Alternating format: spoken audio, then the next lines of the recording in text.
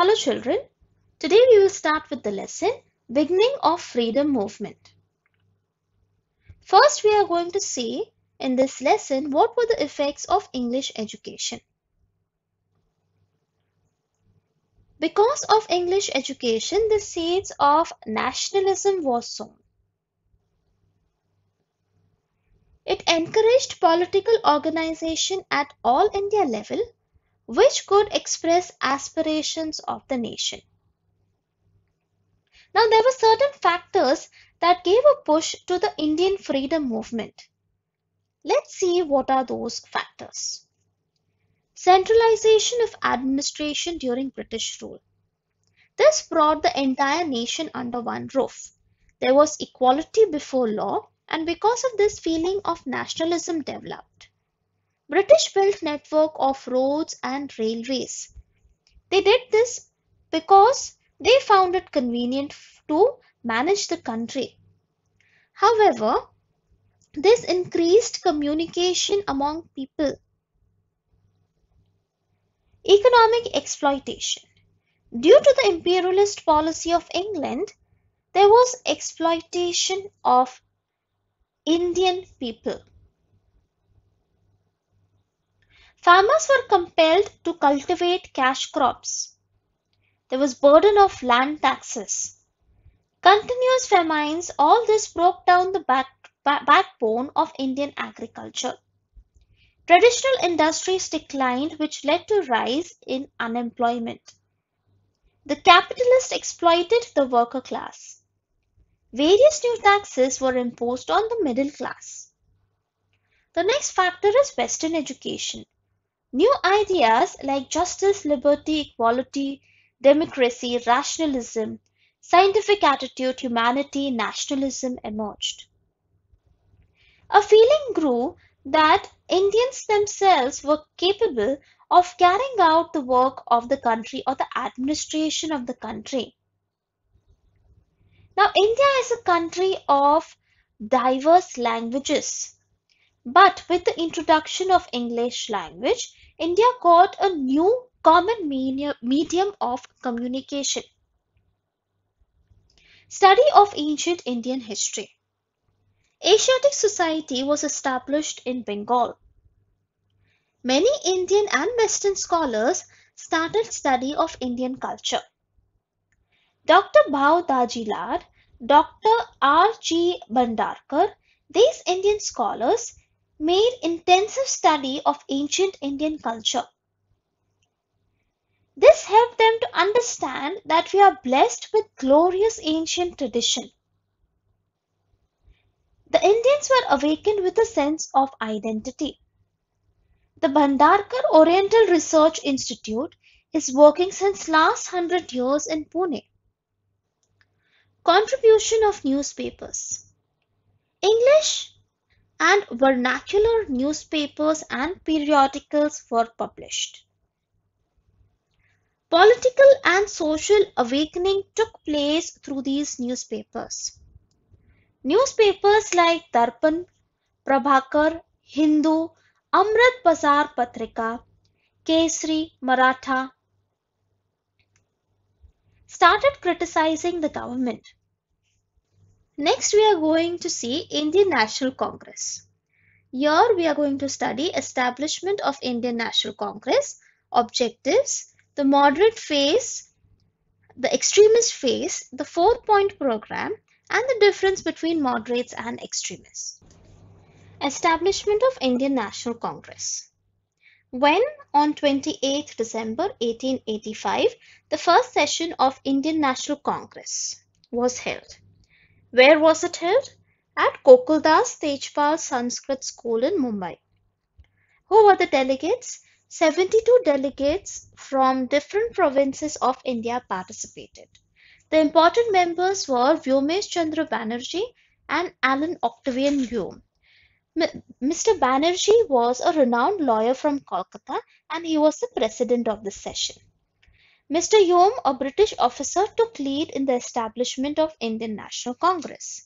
What were the demands made by this INC or Indian National Congress? Increased proportion of Indians in administration, reduction of military expenses by the British government. What were the objectives of the Indian National Congress? To make people forget their differences, bring people on a common platform, make people understand each other's problems and views, increase feeling of oneness among people, make efforts for the development of the country. All these were the objectives of the Indian National Congress. Next, we are going to see the moderate phase of Indian National Congress, which was from 1885 to 1905. Leadership. Leaders were highly educated and realistic. They believed in constitutional methods. Western thinkers' philosophy of liberalism, freedom, equality, fraternity, these values had an impact on them. Important leaders of this phase were Gopal Krishna Gokhale, Firoz Shah Mehta and Surendranath Banerjee. What were the demands? Get representation in provincial legislature, jobs for educated Indians, cutting down on expenses on military, legislature and judiciary should be separated for safeguarding legal rights of Indians. What were the differences between moderates and extremists. The difference was regarding the working system. Moderates advocated peaceful and constitutional manners. Extremists advocated severe struggle for attainment of freedom. However, the moderates laid the foundation of freedom movement and the extremists carried forward the movement. Extremist phase. This was from 1905 to 1920. Important leaders of this phase were Lala Lajpat Rai, Bal Gangadhar Tilak and Bipin Chandra Pal. The extremist leaders for bringing about political awakening among the people used methods like newspapers, national festivals and national education. Kesari and Maratha were the newspapers through which Lokmanya, Lokmanya Tilak made severe criticism on the suppressive policy of the British. In Bengal, Amrit Bazar Patrika was a mouthpiece of extremist ideology. Festivals like Shiv Jayanti and Ganesh Utsav were started by Lokmanya Tilak. Because he knew that for political reasons, if people come together, then government will ban them. But for religious reasons, if people come together, the government will not ban them. Tilak wrote Gita Rahasya. Its core was philosophy of Karam Yoga and stressed that people should always be in action. The extremist leaders established education institution for creating a generation which was concerned about its own language and tradition. These leaders were of opinion that if lakhs of people take part in the freedom movement, only then success can be achieved. They did not adopt the means of armed revolution, rather they insisted for an extensive public agitation. An important event in this phase was in the year 1897. In 1897 in Pune, the epidemic of plague had spread on a large scale. Hundreds of people died due to it. An officer named Rand was appointed. The plague patients were searched out and oppressive measures were adopted. As a revenge, the Chapekar brothers assassinated Rand. The government tried to connect relation of Lokmanya Tilak with, with this conspiracy. After being unsuccessful, the government imprisoned Tilak with revenge. Next, we are going to see partition of Bengal. When and who started or initiated this partition of Bengal? It was done in the year 1905 and it was Viceroy Lord Curzon who contributed to it. The official reason given was that Bengal was a large province and difficult to manage from point of view of administration. However, the hidden strategy was divide and rule. They wanted to divide the Hindu and Muslims. Majority Muslims would remain in East Bengal and West Bengal was for majority of Hindus. This would break the unity of Hindu and Muslims and the freedom movement would be weakened. Now as the British government started this partition of Bengal, an anti-partition movement started. There was public awakening against the partition. 16th October, the day of partition was observed as National Mourning Day. All over India, there were protest meetings to condemn the government's decision. Vande Mataram came to be sung everywhere. As a symbol of unity, Raksha Bandhan programs were held. There was boycott of schools and colleges. Important leaders in this movement were Surendranath Banerjee, Anand Mohan Bose and Rabindranath Tagore. Due to severe dissatisfaction among the people, the partition was annulled. That is, it was declared invalid. Indian National Congress session of 1906. Dadabhai Naoroji was the president of this session. The first time the word Swaraj was used. It was used in the speech by the president. Who was the president? Dadabhai Naoroji. In his presidential speech, he gave the message that we should remain united, try sincerely and fulfill the aim of Swaraj so that today we will be able to save lakhs of people suffering from poverty, hunger, diseases and India will get a respectable position among developed countries. In the same session, a four-point program was accepted. What were the four points of this program? Swaraj, Swadeshi, national education and boycott. Now, why Swadeshi? What was the reason for choosing these four programs? The leaders thought that through the Swadeshi movement, we will be self-sufficient. To follow the path of Swadeshi, they would have to bring together capital, resources, manpower and other resources and from this the benefit of the country could be achieved. It was decided that boycotting of foreign goods is the first step and boycott of foreign rule will be the next step. Due to boycott, they will be able to attack the roots of British imperialism. Do you know Gopal Krishna Gokhale founded the Servants of India Society in 1905 to create love for the country, teach them self-sacrifice of self-interest, differences between religion and caste should be destroyed, and to create social harmony, spread of education were the main objectives of the servants of India society. So what were the objectives? To remove hate between people, to encourage self-sacrifice or sacrificing one's own interest Differences between religion and caste would be removed. Create social harmony and spread education among the people. Split in Congress.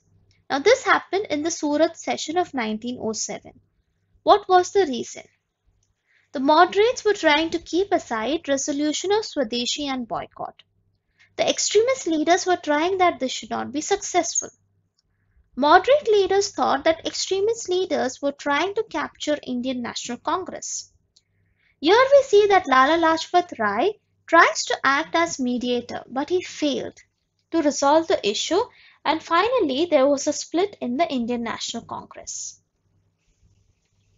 Suppression of the British To control the growing unity and public opinion which was against British rule, the British undertook certain measures. Now what were these? Public meetings were banned. Strict punishment was given for breaking law. Restrictions were imposed on newspapers. Printing press were confis confiscated. Writers and editors were imprisoned. Lokmanya Tilak was sent to Mandalay jail at Myanmar for six years. Bipin Chandra Pal was sentenced to jail. Lala Lajpat Rai was deported from Punjab. Now because of all this, the natives also reacted and there was firing and bomb attacks. Establishment of Muslim League in the year 1906. The British were disturbed because of the growing unity among the people. They had seen what this unity could do to their rule when they had witnessed it in the case of the anti-partition movement. Therefore, the British once again followed the policy of divide and rule.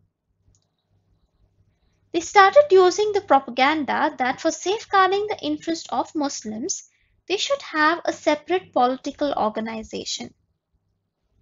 Due to the motivation of the British government, a committee of upper-class Muslims under the leadership of Aga Khan met Governor General Lord Minto. Due to the motivation from Lord Minto and other British officers, the Muslim League was established in 1906. Next we come to Morley-Minto Act. Now why was this act passed? It was to remedy discontent of the Indian people. And what were the provisions of Morley-Minto Act? It increased number of Indians in the Legislative Assembly and separate electorate was provided for Indian Muslims. Lucknow Pact In the Lucknow session of Indian National Congress in 1916, under the leadership of Lokmanya Tilak, an attempt was made to resolve the dispute in the Indian National Congress. In the same year, there was an agreement between Indian National Congress and Muslim League known as Lucknow Pact. According to this pact, Indian National Congress agreed to separate electorates to Muslims and Muslim League agreed to support the Indian National Congress for getting political rights to India. Next we come to the Home Rule movement. Home Rule means self-government. Why was this movement started? The First World War started in Europe and effects of this war could be bared by India as well. The rates of basic necessary commodities were increasing. Many restrictions were placed on Indians by the British government. Who were the leaders of this movement? Dr. Annie Besant and Lokmanya Tilak. And what were the demands of this movement? It was right of self-government in India. Tilak stated that Swaraj is my birthright and I shall have it. First World War and India.